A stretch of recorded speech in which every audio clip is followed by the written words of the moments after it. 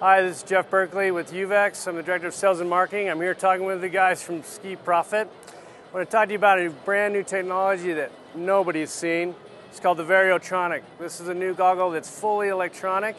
It is an LCD screen, just like my TV screen behind us, just like the one you're going to be watching all the races on. This new Snowstrike Variotronic uh, brings you four lens colors in your option in a manual. You can have rose, you can have blue, you can have clear, and you can have a dark tint for any light transmission that you want. Once you choose one of those, you can actually put it into a fully automatic mode, which will change between the lens color you want and clear within less than half a second. No goggle on the market can do that. You can find this fine German engineered, German made goggle in, in any of your UVEX dealers across America. We're the only ones that do this technology. It's going to save you time, it's going to save you money, and it's going to make you more safe when you're going in and out of those shady conditions, which we all hit every day.